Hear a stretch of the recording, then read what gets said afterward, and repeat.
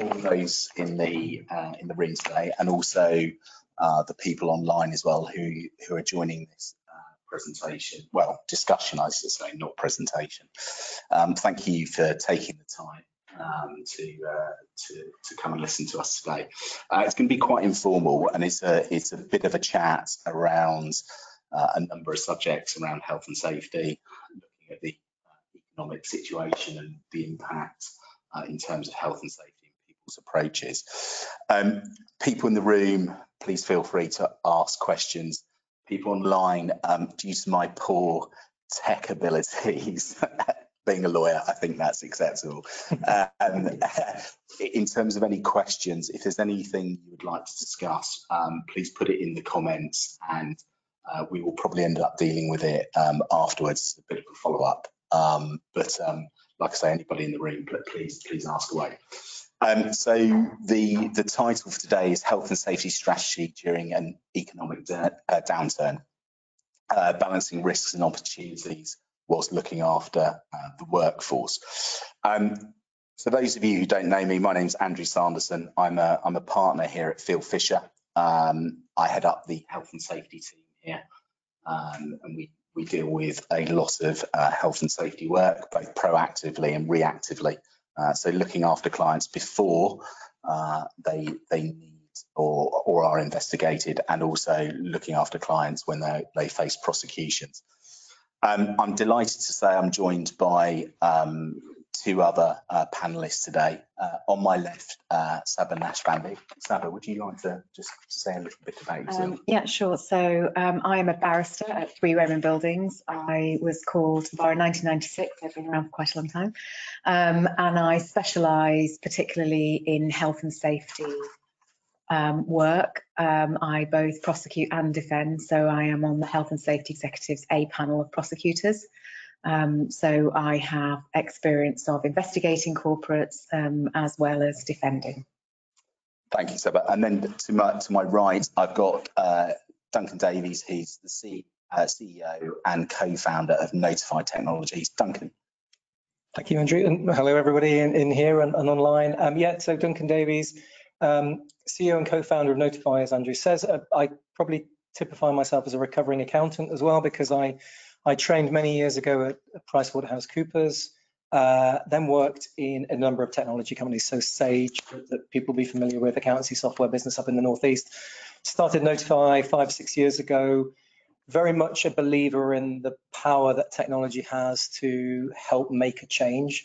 Not that it's always the solution to problems, but that it can be a great tool.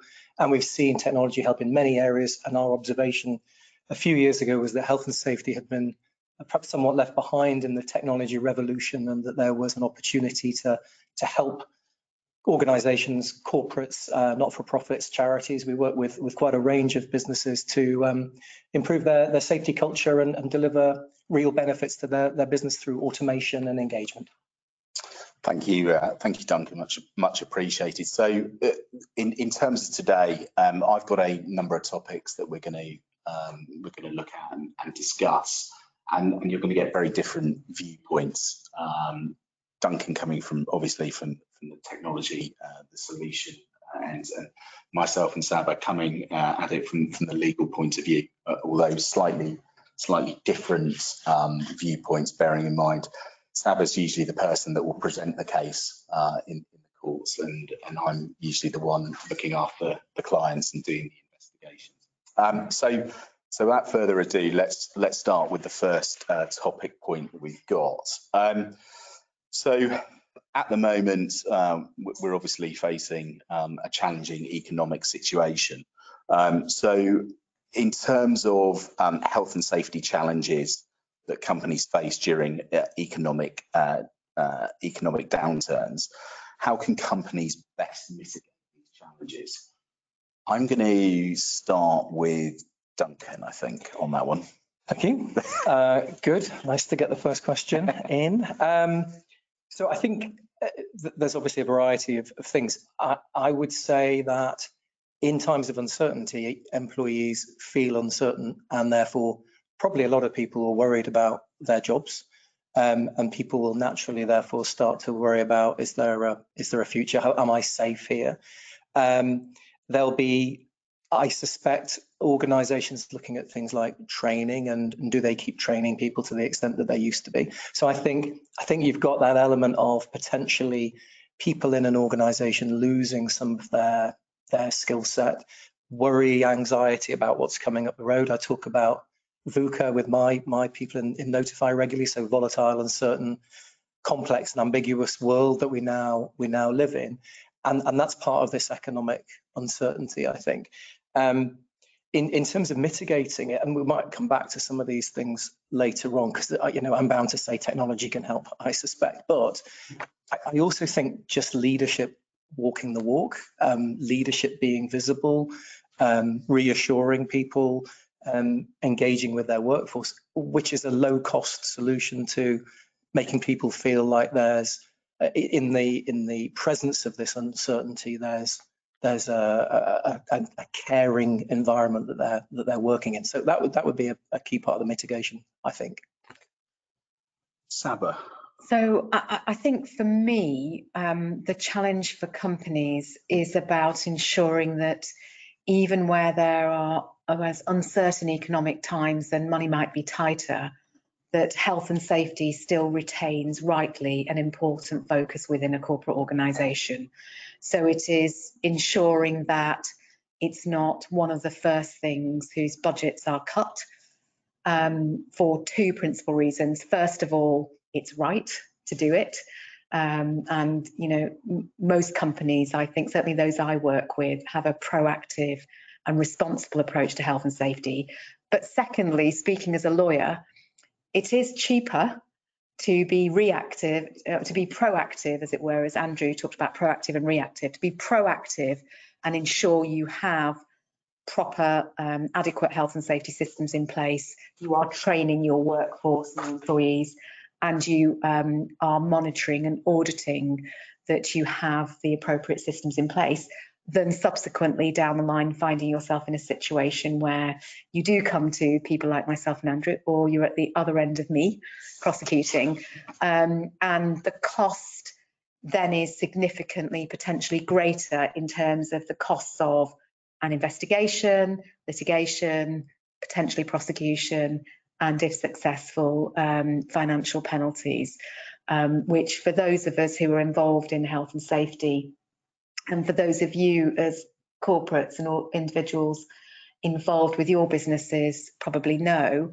um, we work to a guideline now in sentencing and it, you know, it very much starts, um, financial penalties start essentially looking at um, your turnover and they can be significant and are increasingly significant.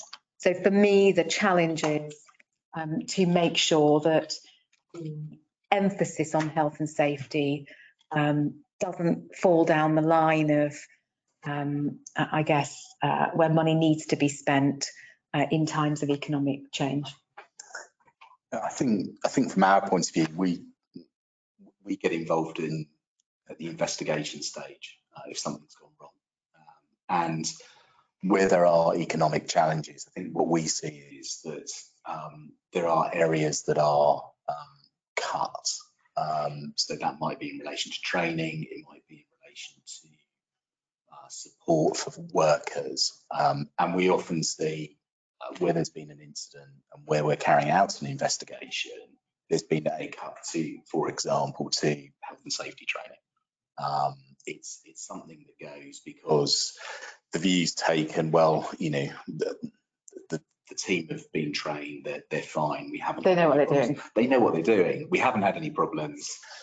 Do we need to spend X amount this year? And and and I'm not saying it's necessarily done for the wrong reasons, although ultimately it has an impact on health and safety. But it's it, it's a, it's a cost cutting exercise, and we we often see that, and then trying to explain to a judge when you're presenting mitigation why the company cuts the budget for training is is very difficult would be an understatement. Yeah, and, and I think also, as we know, that um, in that sentencing process, one of the factors that can aggravate a sentence um, that the judge, judge will look at is um, cost cutting Um, so profits, cost cutting, expensive in, in order to generate profit. So it is, so whilst you may be able to say mitigation, well, this wasn't deliberately done. Um, we weren't cutting costs here deliberately to enhance our profits. That is the reality of what is being done. If there has been a conscious thought process about putting less money into health and safety, um, you know, and so I think that that could be a challenge, and it's it's unlikely the you know economic um, challenges are unlikely to form the basis of a uh, a valid sustainable defence, and they can be, if presented in the proper way, appropriate way, they can be positive in mitigation. But I think when companies are looking at how can we spend this pot we've got most effectively and efficiently without um, at the expense, without it being at the expense of our health and safety. It's also about how do you document and explain that. So I think that is also important and it's probably something that Duncan's very familiar with in his, you know, in the services he provides. A lot of health and safety, um, when it comes to likes of Andrew and I, we want to say, well, what, what did you do? And how, how can you show me that's what you did? And how did you make sure you were continuing to do that? So it's it's all the due diligence. It's the, you know, it is the the boring, potentially boring, but regularly required due diligence that that needs to happen. Uh, and again, this is part of, I think, that documentation process. And I think linked to that, I think, is um, you know, and I think it's really interesting that whole what what is defendable or not. So we cut costs because we need to be a sustainable business, but you put people at risk because you cut costs. There's also the bit of even just right sizing the business. So text text in the news every week now, technology companies are getting rid of you know a thousand people here and there. I wonder what the impact on the kind of corporate memory is. We talked about you know that people know what they're doing, but when you're taking people out of a business, you're taking out skills and experience and knowledge of how things work around here, which may not be captured in informal processes and actually which I think then increases your risk. Now it's hard to mitigate that in, in that you need to take out headcount potentially. But as you do that, there's that risk that if you haven't captured what people do and how they do it and what they do it for, that you're ending up with these gaps in the organization where the, the people that are left are both unclear on what they should be doing potentially. And if you're not training them properly, then they're not trained to do the job. So you're kind of building up a risk just from what you might call right sizing in a sense. I don't know if anyone in the room who sort of works, you know, in in industry and business has got any views in terms of what we've just what we just covered. I'm looking I'm looking at your looking in your direction. I mean, that, that's about risk management, about controlling and management of change. Yeah. In business and understanding what the risks are likely to be by potentially downsizing, because at the end of the day, the business isn't making money, it's not in business. I mean, you've got to, to, to manage. Yeah. But you've got to understand what those risks are and as I say, manage those risks, understand those risks and make sure you've got mitigation in place to, to deal with that. Yeah, So good point. It's change control more than anything else, which is a very fundamental principle. For most businesses. Some cost cutting and lights going. on. I know. Um, if somebody would like to get up and just move around over there, they'll come back on. You're doing your sustainability thing. aren't you? I know. There we go. There we are. You see? We're back. We're Brilliant. That was good timing. Job to do. That was good timing. Amazing. Hopefully they'll stay on there. Um, so sort of, uh, I suppose, um, I suppose sort of following on from that, um, in terms of um, cost pressures that businesses are facing now and um, and making sure that they um, that their health and safety strategies and policies and procedures are still effective uh, and, and they're still managing those properly. What what would what would your views be in terms of that and how businesses can go about doing that? Um, well, I think it's uh, largely back to, if you're asking me first, by the way, but I'll- I'm jumping in, but I was- Yeah, um, culture, I think, is, is, is kind of number one. We, we hear that, that talked about an, an awful lot. And I, and I think you, you, you hear it talked about so much that it sounds much easier than it really is. And I think, you know, changing culture is is incredibly difficult. Um, I think, and I think that's what comes back to my earlier point about then your your leadership and the. And I was talking earlier with with with Mike about that that doesn't cost a great deal. Having your your leadership team engaging on the ground with your people sends that right message of safety matters. Um, I, think we have to recognise that there is always going to be a cost involved with maintaining health and safety adequately. And so I think, um, and it's very much dependent on the individual business in terms of where the money needs to be more effectively spent. So for some businesses, um, training is is training is important for all businesses in terms of health and safety compliance, but for some training might be more important.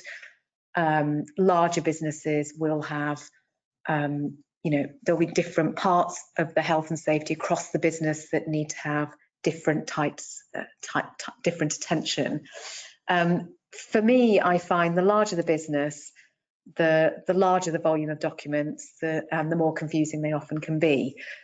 And I just wonder if one of the things that can be done in a cost conscious, cost restricted environment is for those within the business with the health and safety expertise to to spend that time to go back and say well let's let's review picking up Duncan's point in for reinforcing that message that we are a business for whom health and safety is paramount our staff's health and safety and welfare and those who who visit us is paramount. And, and really trying to look at how can we re-establish that, engage, to look at where are our gaps. So without necessarily having to spend lots of additional money, it's about looking to use the resources we've got within and the expertise within our businesses and perhaps use that more effectively. Yeah, I mean, one It's a of, the- difficult question it, it is, it's, it's, it's, because the health and, you know, complying with health, your health and safety obligations ultimately costs money. Mm. It, it, it does. And, and sort of one of the, one of the things we, we often come across is where, you know, as I was saying earlier, there's been a bit of trimming in terms of maybe the training budget or maybe the review of policies, the review of procedures. And as Saba said at the start, getting, being proactive about health and safety in, in its full context is a lot, it's a lot cheaper than if something goes wrong and you're then having to instruct um, somebody like me or somebody like Saba to then explain to a court what went wrong, why it went wrong, why it shouldn't, why it shouldn't have gone wrong, and what we're trying to do to fix it. Um, I, it, it's it's very much I appreciate you know sort of from an economic business point of view you've got to do that you've got to do that balancing exercise, but you know being proactive is a is a lot better in so Yeah, many ways. yeah. I, I I was just, sorry, just while it was in my head, I was just thinking, I, I gave a talk on health and safety a while ago and um, again to a, a group such as yourselves and uh, one of the sort of head of health and safety sent me an email afterwards and said, I like coming to your talks. You do this every couple of years for this organisation. And I like it because you tell us how horrible, how the worst fines that there are. What that means is I go back to the board and I say, this is how bad it can get. And what you're actually doing is you're giving me the tools to go back and say, um, let's think about, you know, it- it's not just about how we spend the money we've got effectively. It's let's look at this in a way that is, what if we don't do this? What is the potential that can go wrong? And that's, if we're going to look at it in a purely commercial way, it's what, what might this potentially cost us compared to what could we put into it now? And it's not just a commercial cost, of course, it's a reputational cost of an organisation. It's that attendant publicity that comes with protracted court hearings, with cases that remain there on the internet forever and for which that corporate is long associated. So um, if you want me to tell you about lots of really horrible cases and horribly long, large fines, um, then, you know, we can spend a lot of time doing that. But, um, you know, th- it, you know, we're all laughing about it, but actually there's a, there's a very real point to be made um, when some of you are directing that approach or you're on those boards or you're reporting to boards and you have to say, well, rather than buy all this equipment, um, can we spend some money? We need to, we need to do this and spend this money as well. And you have a better opportunity of explaining and, and selling the health and safety to those that hold the purse strings. And I was, that's exactly the point I was, I was going to delve into as well, which might get a bit controversial, but there, there is a, an accountability for the safety director or leader in that Yes. organisation professionally to fight the corner. So I think, you know, we, we Well, talk about. legally, potentially. Yeah, yeah. So we talk about what the company does, but you know, there's there's an element of a a safety leader recognizing that their job is to influence the board. So I, I, I you know, and there are two schools of thoughts, aren't there? There's the school of thoughts that goes, you go in there and you say to the CEO, you're the one going to prison, and and sometimes that lands really well because the CEOs, I don't want to go to prison. Um, and there are sometimes where that that's seen as scaremongering, you know, and, and, I, and I've been in a finance role as a CFO in a large business, and you've got to get that balance right between if we do this, we're going to run out of money in 12 weeks. Everyone goes, oh my God, really? And then you quickly lose credibility because that's not the case versus not saying anything and suddenly there's a there's a finance problem looming. And finance is, is, is a similar gig, right? It's compliance. You know, people don't like you turning up at their desk because it's boring and you're, you're, you're trying to comply with things that people might perceive get in the way of their jobs. So I think there's a real challenge for safety professionals in this environment to to step up and promote what the company needs to do, but but influence. And I think that's been that's often been a challenge when there are so many um, priorities across a business. You know, we've got to sell some stuff, and if you get in the way of my people selling stuff, then there won't be a business. Is is a great argument from a sales director um, and, and an operations director. So it's it's it's a key part of any organization, and I think led by the CEO and the board is giving people the environment to influence and not shout down the safety person or that, oh, well, that's that's just doomsaying or something. I think that comes back to your point you made, I thought rightly, Duncan, about it's all about culture, isn't it? And Yeah. it's the safety culture coming from the top. And we often see health and safety policies again and again will show, have an organogram with, you know, CEO at the top, goes cascades down this way, this way, this person has responsibility for this and this and this. It's all very well having it in black and white, but it's actually, as you say, leading from the top and saying, this is what is important to us as an organisation. Um, and so it does, that message does cascade down and it is seen not as some additional unwanted burden that gets in where in the way of the day-to-day job, but actually the starting point of that day-to-day job. Yeah, I think uh, one of, I think one of the interesting things for us is that we often, some of the clients that we deal with, um, it's, it's, you know, the, the fines, when things go wrong, the fines, the legal expenses, the management time, which doesn't often get added into the equation Yeah. until after, you know, that, that has an impact. But one of our, one of our clients, sort of when they were prosecuted, it, the, the realization was that a number of tenders that they go through, the first or second question on the tender sheet was, in the last two years, has the company Yeah. been prosecuted for? Um, and, you know, any health and safety breaches? The answer to that, when it's yes, is, you know, don't, don't bother filling in the rest of that tender. But it, but, but they, for them, that was, that, that was very, you know, As a wake-up call. it was, yeah. More, more so, I think, more so than the, the fine, to be Mm. honest with you, and the reputational damage, I think, linked with that as well, which was, um, I don't know, uh, anyone got any sort of thoughts in terms of that that we were just discussing? It's a difficult thing to, to broach because yes, you do need to put that washing out there.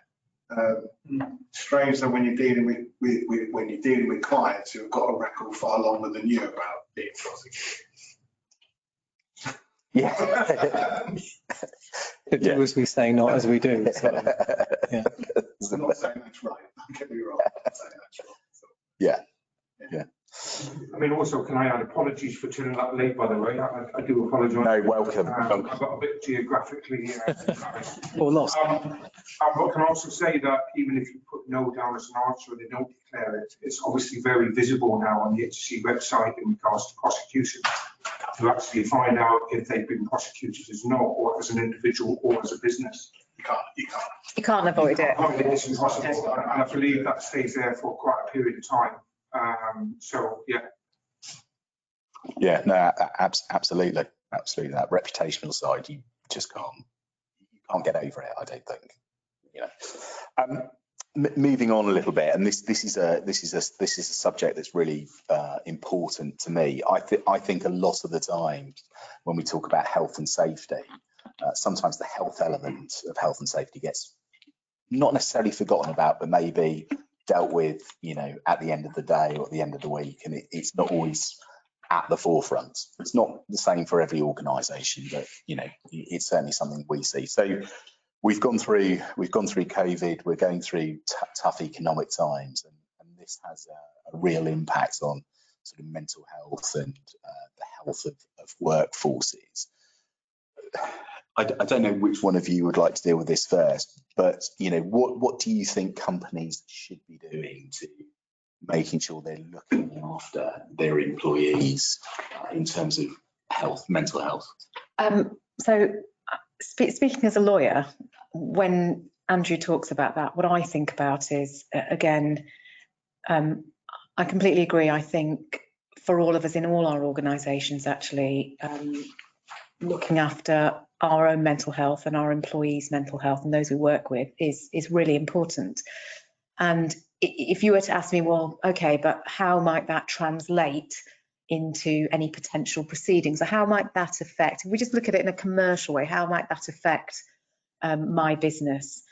Um, one of the things that I think that I certainly see, um, so aside from health and safety in the sort of aspect, I do a lot of inquest work and I sit part-time as a coroner, is we see, um, you know, people sadly um, finding, you know, work so difficult and the pressures of work um, and other circumstances that they take their own life and or there are circumstances in which someone dies.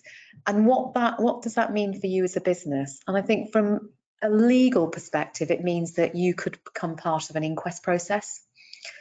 Um, and again if we're looking at it purely from a reputational commercial perspective the potential implications of that um, if there were circumstances in the business where the business was not supportive of, of uh, an employee's mental health and well-being, particularly where it was known, then that might be something that um, a coroner subsequently issues what's known as a prevention of future death report. So it's a report issued by a coroner. It's a low threshold to the organisational person who can do something about it to say something has arisen in the course of this inquest. It doesn't even have to be directly related to that death.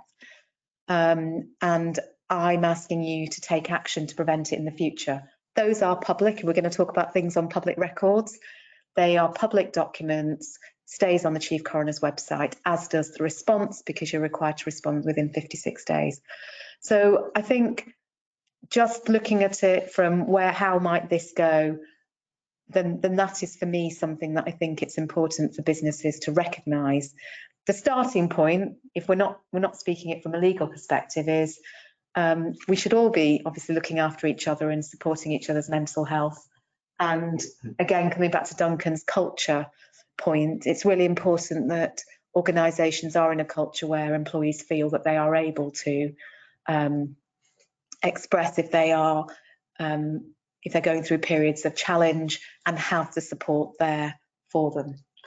It's probably a different angle to what you might have been thinking of, Andrew, when you wrote that question. I don't know. No, I, I think where I was coming from, and uh, you're, you're absolutely 100% right. We so a lot of we have a lot of clients in the construction um, in the construction world, and um, a, few years ago we were approached by one of our clients who the number of near misses and the number of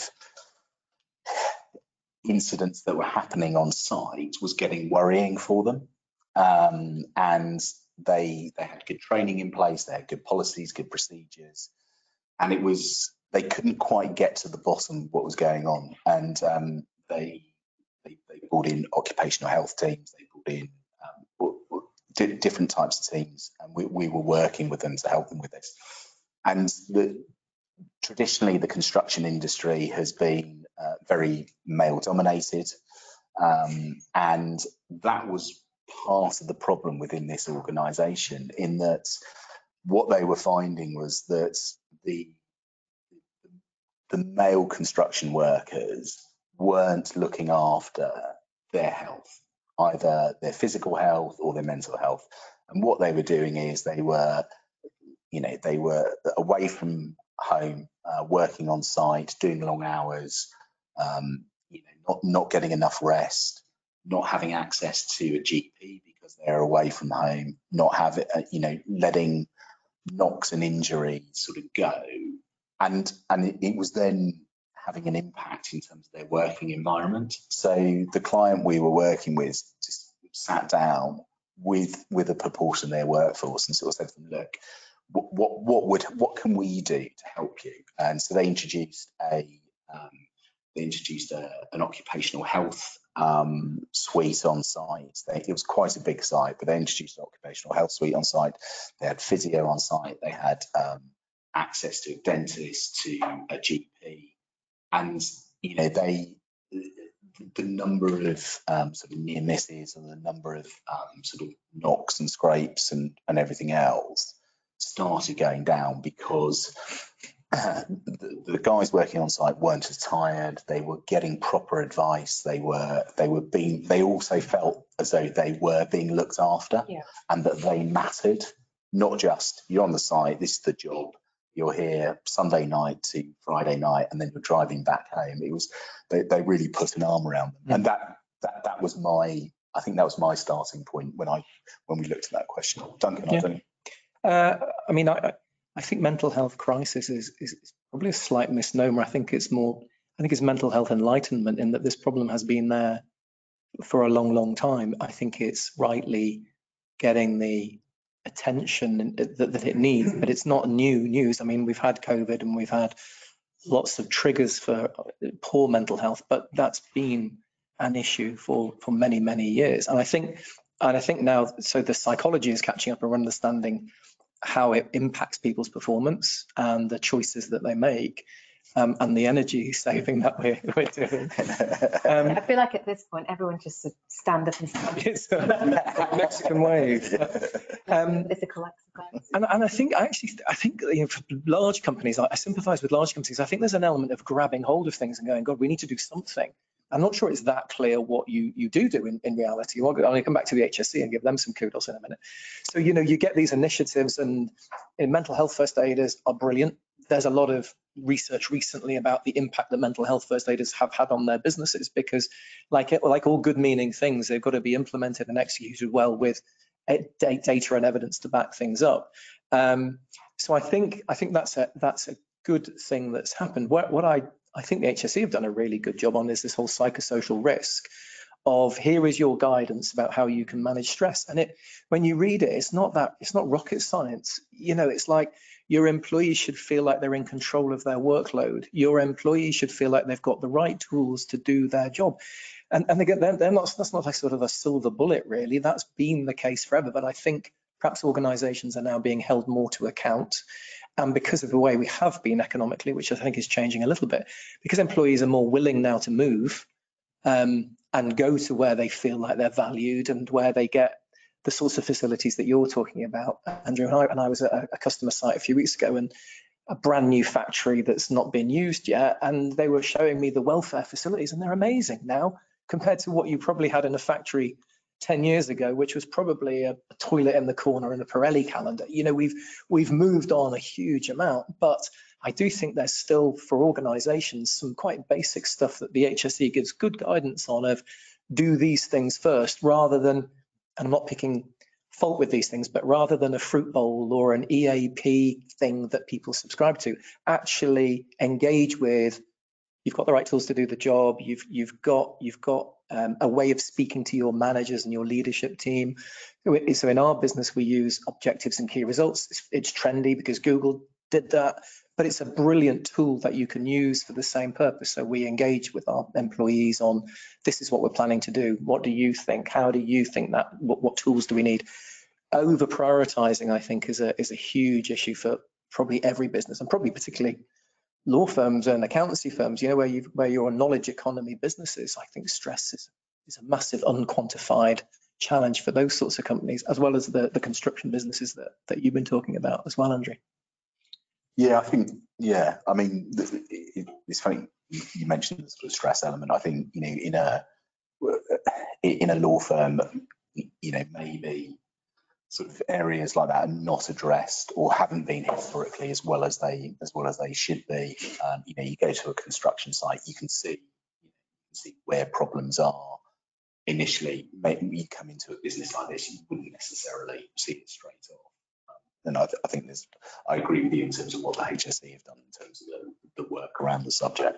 I'm going to throw it open to uh, the people in the room again, whether anyone's got any, any sort of comments on that area. Just got a question on health and safety enforcement in the area of psychosocial risk. We've seen some regulators, such as the Australian regulators, being very aggressive in prosecuting health, mental health in the workplace. Normally there's a suicide and there are specific uh, psychosocial risk laws in Australia. I'm just wondering that, that from my perspective, I think the HSE is doing a good job, but in a kind of a, a soft campaign kind of way in terms of instigating the Working Minds campaign. Do you envisage that there's going to be any health and safety enforcement in the area of uh, mental health in the workplace in the UK at any time? I think there's definitely the potential for that. I think, as you say, at the moment, it feels like we're going through the stage of educating. Um, and once that period of education is, uh, I mean, the fact that the, the HSE has identified this as an important area for regulation, sort of regulation or advice at the moment, um, it seems to me that yes, in the future that might be ripe, but but I, I, I suppose I would would be interesting to see what would that look like.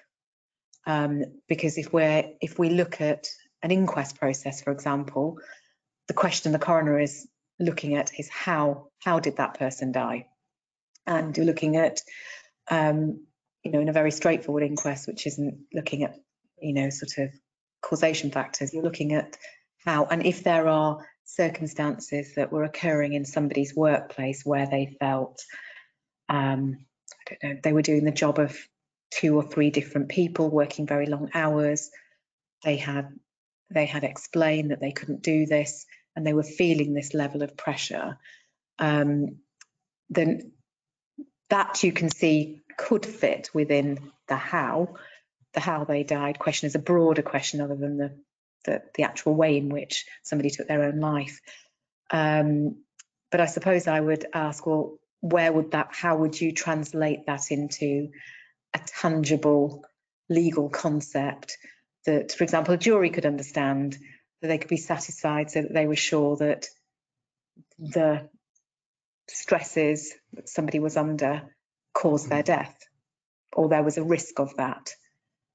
Um, so yeah, so I, I think I think yes, in the future, um, that, that certainly is something that we should all be wary of and aware of. And part of this process of the campaign and educating is so that in the way that businesses have the safety structures in place and the policies and the processes and the auditing and the monitoring that something similar should be there for the health because I think Andrew is absolutely right. We talk about health and safety, we just it rolls off our tongues health and safety, but we we really rarely focus on the health part of it. It's not wage. That's the point. It's a small It is. It's- It's certainly growing in stature, certainly with our And, and rightly so. Exactly. Hmm. Uh, I think the safety thing though is, is more in your face. It's, it's, it's there now rather than the health thing, which is you, the, something that follows along. It's something that's going on in the background. I think it's also something that's historically, and I would hope this is changing generally, is is something that um, people didn't talk about, so it was less known about. And I think it just, you know, comes very much back to Duncan's point about it is about culture and it is about fostering an environment in which people feel that they are able to say that they are suffering, their health, their mental health is suffering, and being able to say that is not going to affect their chances of progression within the business, for example, or, or being given responsibility. So it is, it is that balance that I think businesses have got to look as to how we can achieve that. Comes back to where we started this morning about this does cost, of course. Um, but again, um, I do think it's important to put costs and monies into, you know, if we've got, we've got a happy workforce, um, you know, then that's going to be perhaps a more productive wo- workforce and a workforce that you can retain, people will retain, stay in a business for longer. So it's perhaps more cost effective than retraining and bringing in new people. But you will all know that better than I do. And there's loads of research on that. You, know, it's not, and it's intuitively and scientifically clear that happy people work better. Happy people give you more ideas. I love that idea of work as done versus work as imagined in that you've got your employees at the front line of your service delivery who are far better to tell you how to make improvements, you know, and far better placed to innovate than the board often because the board in large businesses are a long way away from where the action happens. Yeah. So if you if you're harnessing all that all that IP, it's it's very obviously going to benefit the business. And it is and as a as an ex accountant, it is a slight bugbear that you look at the balance sheets of these businesses which are full of machinery and equipment and not a single human being. And yet your human capital is a is a competitive differentiator and a massive part of your asset in, in an organization. But but it's not on the balance sheet, which to some extent perhaps means, which is perhaps why we are where we are, which is that therefore it's not measured, it's not tracked. You don't maintain it in the way that you know that you need to maintain your machinery to keep that on your balance sheet. So I think I think there's a shift there for people to be human beings to be seen as human capital and valued as such. But it's hard because the the way that we account for things isn't isn't structured around that. I think also we want to mention there's certain elements of health that is um, mandatory. When we talk about occupational health, for instance, now we can talk about mental health, but there's a, a lot of elements of health within the workplace that's currently enforced by the HSE, such as vibration, noise, dermatitis, um, certain elements there that are enforced. Stress, you mentioned stress, well, that's enforced to a degree in regards to stress management and stress assessments. So I think there is a lot of element of health that is enforced. But obviously, when we come on to mental health, again, I think that could be enforced to a degree through the civil courts as well, couldn't it? You know, it's a lot easier to kind of justify something through the civil courts than it is through the criminal courts. Um, in relation to any liability that's on a business or an individual in regards to not looking after somebody's mental health.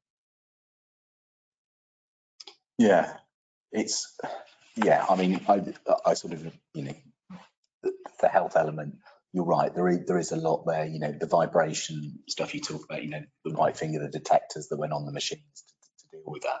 I still think, you know, my, my personal view is I still don't think in a lot of industries that there's those conversations going on sort of generally. They might be on specific subjects, but not, not generally throughout the workforce. I think it's, it's getting a lot better. And, and that's great because that, that helps the, that helps the employees and it helps the business. And like you said, hmm. the, the human capital within that. Um, I'm just going to, I'm, going to move on to the, the subject of technology. Um, I, I sort of, um, we- we've got a couple of areas to get through and, and one of them's uh, technology. Um, in, in terms of, you know, we, we live in a, in a society, we, we rely more and more on technology. How do you think that the role of technology can help with regards to um, sort of managing, developing health and safety practices within the business, especially during an economic um, downturn? And and does it, you know, is there, is there a positive there? Is You know, I, I suppose that's my question. Which one of you would like to? I think it's a question for Duncan, really. Tell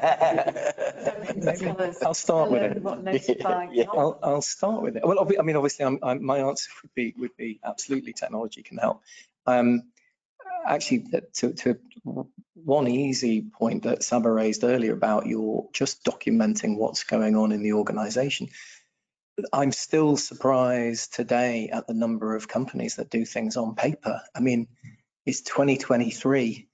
Um, and obviously I've been in technology my, my career, so I, I'm probably ahead of a curve, but it still astonishes me the number of businesses that run on that. And these are successful businesses, but oh, there's there's a really easy use case in terms of technology just around automation, um, having things in the right place. You look at an investigation, I guess, where you guys come involved.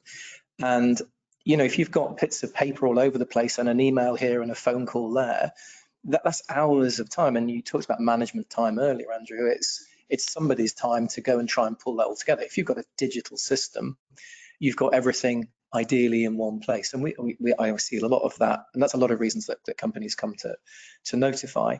I think at a deeper level, the demographic is changing obviously quite rapidly in terms of the number of people in work of certain ages and their appetite for digital. So I think now an organization that when a when a new starter turns up at 20 something years of age and they're given a a folder with the health and safety policies and the forms in it, they're just not going to engage. They'd be like, I only work on an app, so can I have it on an app, please? And you know, so you've, I think, I think because of the the culture point and the engagement point, you you need to engage with people at where they are, and that's been what we've learned in lockdown, right? You you had you had people overnight being sent back from their offices in the thousands to work at home.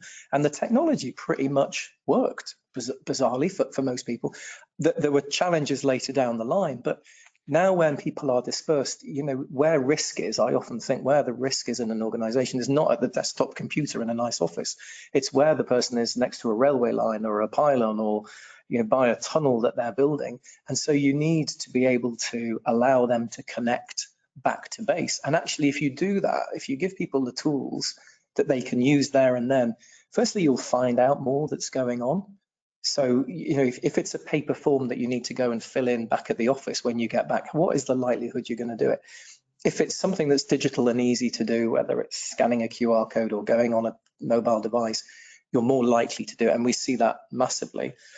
But what the technology then allows you to do, which I think is really neat, is it allows feedback to come back to that individual through the technology to say, thank you for logging that near miss, thank you for making that report.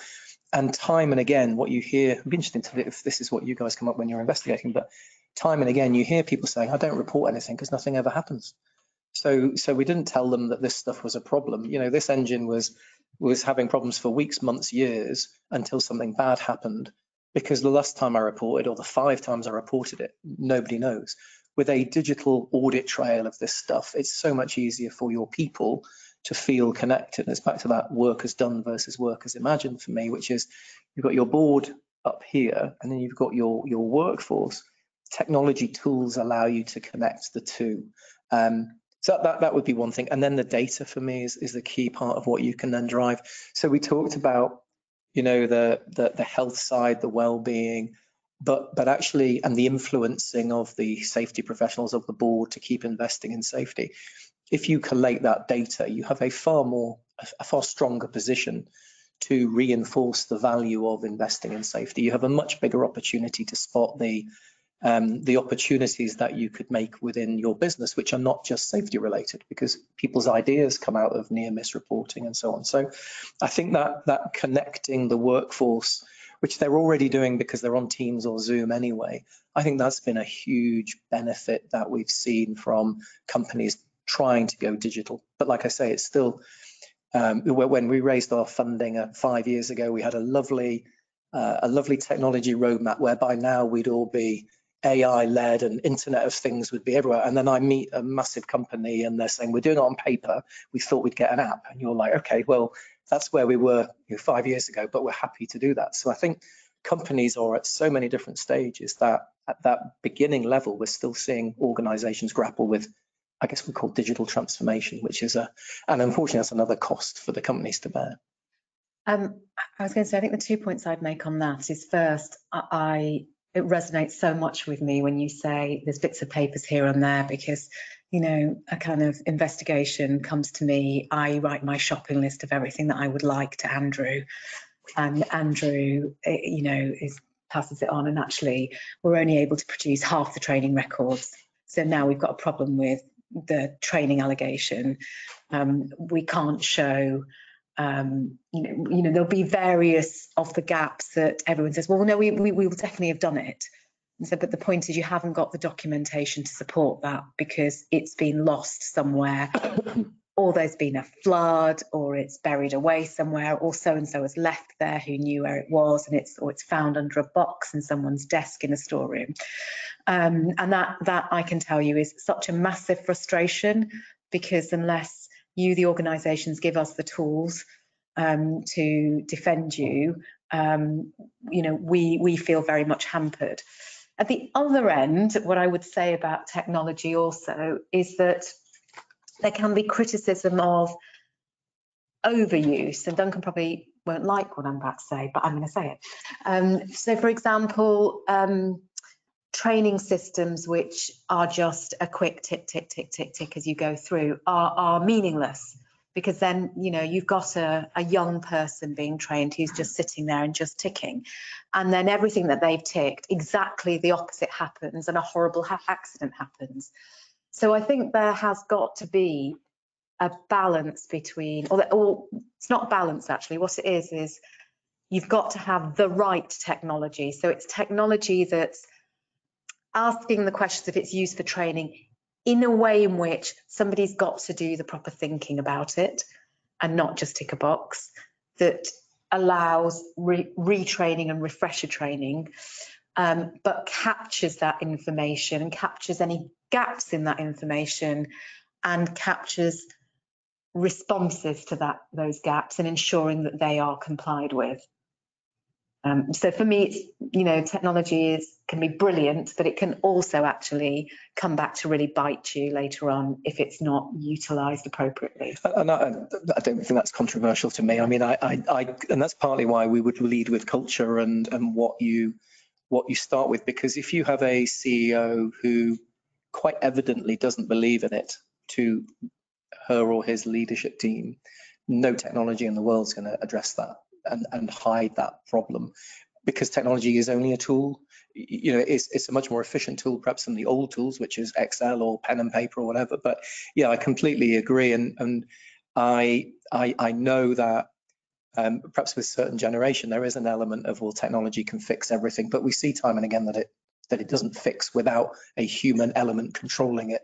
We're not going to AI and ChatGPT just yet, but you, you, know that that is that is some of the challenge that we face, I think, with with tech. So I'm I'm not offended. Definitely offended. Um, Another challenge I've seen with uh, clients is where uh, the, the employer has moved data systems.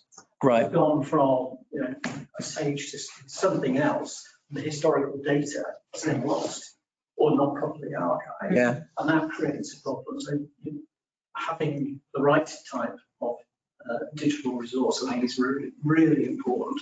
And then going back to what you were saying about um, the use of the digital tools, uh, how how do you use your your tools in, Notify to address issues such as uh, you know, hidden disabilities and uh, health, mental health issues.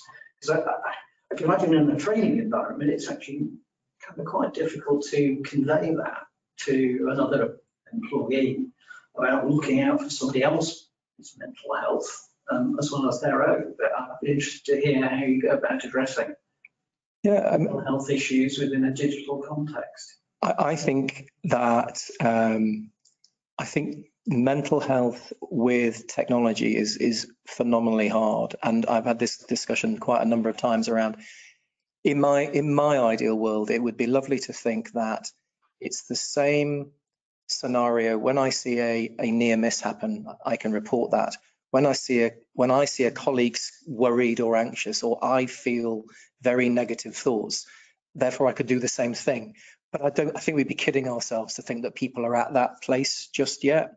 So, so when we work with clients, typically what we're giving them is the tool set. So in Notify, you can customize what you want to report on and track and analyze. So if a client wants to use it for that kind of reporting, for hidden disabilities or mental health reporting, they can, and we support them in doing it, but we we don't advertise it as you will you will crack your your mental health challenges through this. Like we don't say you'll crack safety through it. We say this is a tool to help you automate or engage. But I think it's a really interesting um, topic that we're probably not going to have time to cover. But yeah, or maybe we ca- catch up after because you're into then people with wearable devices and do you start tracking somebody's heart rate during the day to see when they are anxious? Nobody, nobody wants that. And in Germany, that's totally illegal, you know. Solving into that territory, you know, sort of general data protection about people's personal. Absolutely, yeah. Whether they, they, they want to freely give that over to people to actually look at, and monitor and actually uh, act upon. So it's- I'm, I'm sort of conscious of the time and there, there, there was one, we, we've got a few more minutes left. and There, there was one area I wanted to cover and I'm not going to comment on technology because I'm sat here with my, with my notebook. That lights- that that's, the lights don't work. I know. It's, um, but I think, I think the one area I wanted to sort of m- maybe finish on, um, is where you have a senior leadership team within a business.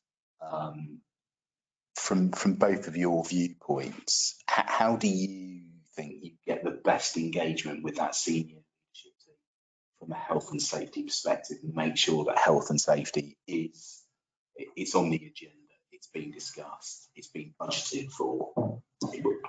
I think you tell them the top three prosecution sentences in their area. So I'm, I'm, I'm saying that, but um, um, I, actually think that count, that, that is part of it. I don't think starting the way Duncan says, starting with scaremongering is necessarily the right way. I think education is, is the way to start really into, I, I think there has to be, you've got to have a senior leadership team who recognise the importance of health and safety of keeping their of keeping their from a human perspective of keeping their workforce um, it's a dual approach isn't it it's it's what what are my responsibilities to my my employees? It's to keep them safe and well. Um, and if i don't do that what are the potential consequences of that? Um, so I, I joke when i say top three prosecutions but it is i think it is a dual aspect. And i think um, from a it, it, it's individual, isn't it? You've got to tailor it to the to the nature of the individual and that particular board. I, I got a client who of a large organisation that always says, um, because inevitably in the size of their organisation, things do happen that go wrong, and they will always say, um, "We'll just take what's coming." And actually, the the director that always comes to court with me says, I hope we get a really big fine this time because then the message will really go to the board because most of the time when I go back, um, it's not down to me, it's, you know, it's team effort circumstances. I go back, they say, well done, well done. Um, It's been managed, yes. So I think, I think it is for those of you that have to do that, have that uncomfortable, difficult conversation because you are have the safety responsibility in the business. Um, it's it's tailoring it but focusing on those those two aspects. I mean, it's probably the same. It's influencing and understanding who you to influence, how you influence them. So um, I, I totally agree. Some, uh, generally speaking, I think most boards are influenced by facts and data and, and the science. So the fact is, these people have been fined, and this has been very uncomfortable for the CEO. That will resonate with some CEOs. Being able to say we we've seen a reduction in our accident rate or LTI because of some initiatives we rolled out in the year, where it becomes crystal clear that the evidence is backing up the, the program or the safety strategy is, is powerful even, even for the hardest nosed of, of boards. And then I think there's a bit of what investors and shareholders do because they ultimately can influence what, what, what organizations do. And, and they need to be asking their, their companies, who on your board is making this happen? You know, who's got, who's got responsibility and lives and breathes this stuff rather than a, we have a board meeting we tick a box to say, yes, we've talked about health and safety. And I think that, that, that, that's a drive that we're seeing, but it's a drive that I think we, we need to see more of. Yeah, I, I- I think that's right. I think the, the drivers from, you know, shareholders, investors, that, that that's becoming more important. I simply say, if you get things right, you spend less time with me. That's a, that, that's, a- that's a positive. Win. Look, and uh, we're, we're, we're sort of out of time really. Um, uh, those, those of you that have been listening online, as I said at the start, if you'd like to uh, put a, um, put a question in the comments box, we'll, we'll come back to you uh, at some point um, and try and answer those questions. Uh, those of you in the room, um, there will be some drinks so we can carry on discussions, uh, which would be great. Um, thank you to everyone for coming. Uh, more importantly, I'd like to say thank you to Saba and thank you for Duncan for giving up their time uh, to come here today. It's been much appreciated. Um, I'm going to do two plugs for Fieldfisher. One, we have another health and safety roundtable event on the 5th of May, um, which is about investigations, what to do, what not to do. And also, we've got our very first podcast uh, on health and safety coming out, which is which, which A involves me, but but please don't let that put you off. Um, it's really interesting with a uh, with with a couple of guys from industry who sort of talk about it from their uh, perspective. But um, thank you everyone for joining us. Um, please feel free to join us for a drink, and those of you online, thank you ever so much. Thank you. Thank you. Thanks. Thanks, Andrew. Thank you, Andrew.